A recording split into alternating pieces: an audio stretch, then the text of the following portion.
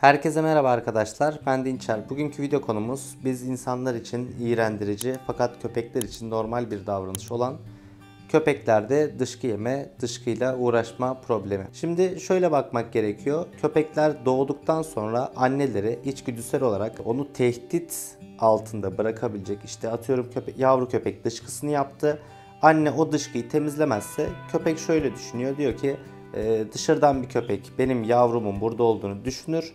Benim yavrumun burada olduğunu anlar ve e, saldırabilir veya işte zarar verebilir olarak düşünüp yavrunun dışkısını temizliyor. Şimdi birinci nedenimiz bu şekilde. Anneden gördüğü için annenin e, dışkı yemesini kopyala yapıştır yapıp yavru da dışkı yemeye devam edebiliyor veya dışkıyla uğraşmaya devam edebiliyor. İkinci bir neden ise vitamin ve mineral eksikliği. Biz köpeğimize bir mama verdiğimizde köpeğimize yeteri kadar besin takviyesi vermiyorsa vitamin ve mineral eksikliği oluşur ve bunun eksikliğine bağlı olarak köpek dışkısına geri döner ve yemek isteyebilir. Üçüncü nedenimiz ise köpeklerdeki sindirim eksikliği. Biz buna sindirim bozukluğu da diyebiliriz. Bu da şu şekilde oluyor. İster bizim köpeğimiz ister başka bir köpek X bir yiyecek yediğinde bu yeteri kadar sindirilemiyor ve sindirilmeden çıktığı için köpek tekrardan dışkıya dönüp o dışkıyı yeme ihtiyacı içerisinde bulunabilir. Dördüncü nedenimiz ise biz insanlardan kaynaklı köpeği dışkıya itme diyebiliriz. O da şu şekilde oluyor. Köpeğimizin yavru geldiğini düşünelim, yavru olduğunu düşünelim ve halının üzerine tuvaletini yaptı. Eğer ki köpek sahibi burada kalkar köpeğine hey ne yapıyorsun buraya tuvalet mi yapılır hala öğrenemedin Ee, üstüne gidip işte gazeteyle korkutma olabilir e, vurma olabilir bağırma olabilir bu tarz davranışlar yapıldığında köpek de şöyle düşünebiliyor ben eğer tuvaletimi yaptığımda sahibim bana kızıyorsa ben tuvaletimi yer ve ortadan kaldırırsam yani kanıtı ortadan kaldırırsam sahibimin bana kızabileceği hiçbir şey kalmaz ve sorun ortadan kalkar olarak düşünebilir. Beşinci nedenimiz ise köpeğin dar bir alanda, kapalı bir alanda bakılıyor olması.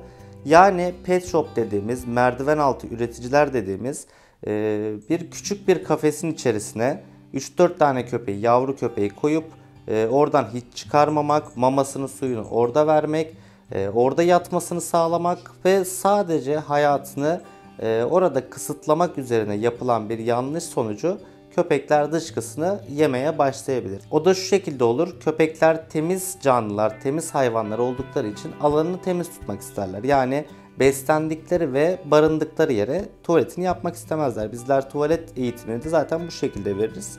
Fakat e, bu şekilde küçük bir alanda muhafaza edildiğinde, bakıldığında köpekler alanı temizlemek için e, bu dışkıları yiyip kendi alanını temiz tutmak isteyebilirler. Ya da mamasıyla e, tuvalet alanı aynı yerde olduğu için mamasını verdikten sonra yavru köpekler e, hareketli olurlar. E, bu hareketlilikten kaynaklı mamasını döküp de dışkısının üzerine düşüyorsa ve köpek de aç olduğu için, beslenme ihtiyacı içerisinde olduğu için e, o mamayı yerken dışkıyla birlikte pekiştirip daha sonrasında dışkıya yeme problemi de şekilleniyor olabilir. Altıncı nedenimiz ise yine bizlerden kaynaklı oluşan bir problem. O da şu şekilde oluyor. Eğer ki köpeğimiz X bir yere tuvaletini yaptığında bizler hemen o dışkıyı kaldırırsak köpek de diyor ki bu kadar hızlı kaldırıldığına göre herhalde e, çok önemli bir şey bizler için deyip e, daha biz almadan kendisi alıp oradan e, uzaklaşmak veya yiyeceği paylaşmamak istiyor olabilir. Bu şekilde düşünüyor olabilir. E, Buna da dikkat edelim. Yedinci nedenimiz ise köpeğimizin ilgi görmemesi, ilgisiz kalması ve dikkat çekmek için yapması. O da şu şekildedir. E, köpeğimizle hiç ilgilenmiyorsak, atıyorum günde bir defa dışarı çıkartıyoruz. 10 dakika, 15 dakikalık bir gezintimiz var. Bunun dışında işteyiz veya işte olmadığımız zamanlarda da e, bilgisayarla uğraşıyoruz, telefonla uğraşıyoruz. E, köpeğimizle çok fazla ilgilenmiyoruz. Köpeğimiz de bizim dikkatimizi çekmek için e, X bir yere yine tuvaletini yapıp sizin gözünüzün önünde dışkısını yiyor olabilir. Bu da sizin e, ilgisiz davrandığınızdan kaynaklı oluşan bir problemdir. Sekizinci nedenimiz yine bizlerden kaynaklı oluşabilecek bir problem.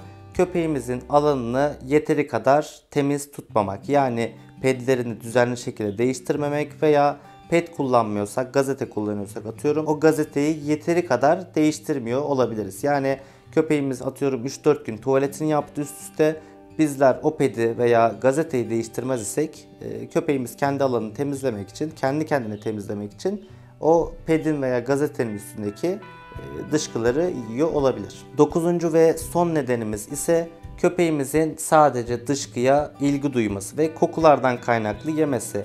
Biz bunu genellikle kedi dışkısında çok fazla görürüz. Eğer ki köpeğimiz e, gidip kedi dışkısını yiyorsa bu aslında baktığımız zaman normal sayılabilecek bir davranış. Bizler için ne kadar e, tiksinç bir durum olsa da kedi mamaları çok yüksek proteinli olduğu için dışkıları da aynı bu şekilde yüksek proteinlidir ve dışkısını yaptığı zaman köpeklerin dikkatini çeker ve yemek isteyebilirler. Bu videomuz da bu şekildeydi arkadaşlar. Beğendiyseniz beğenmeyi, abone olmayı ve bildirimleri açmayı unutmayın. Bir dahaki videolarda görüşmek üzere. Takipte kalın.